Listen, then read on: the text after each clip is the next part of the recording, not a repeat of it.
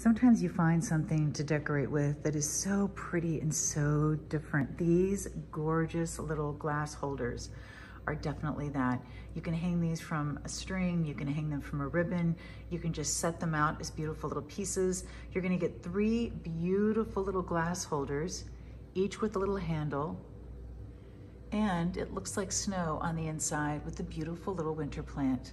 Three different plants, three different holders. Aren't they sweet? So here they are on candlesticks. That's a great way to go. We also have them right over here, just sitting out to add to a beautiful little arrangement. I love that. Here, we have them on book boxes, and you can see how perfect that's gonna be.